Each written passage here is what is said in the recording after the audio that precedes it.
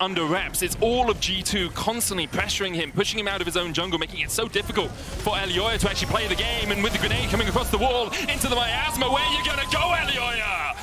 The Snake Queen Caps takes the kill. Now the charge coming in from Kled. He's going off to Narnia at the moment, but Chase is still underneath the tower. The arrow not quite able to lock onto anyone. Yike might die here with the twisted advance to dodge the final tower shot. Perfect play there by Yike.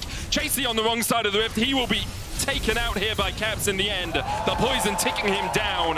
And on the other side of the map, Mad were unable